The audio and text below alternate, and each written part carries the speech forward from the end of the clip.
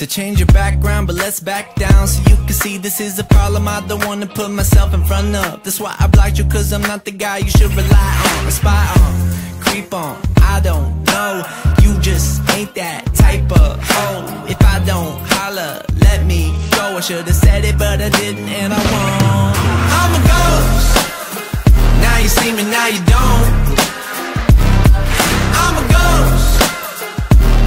Time you hit the phone.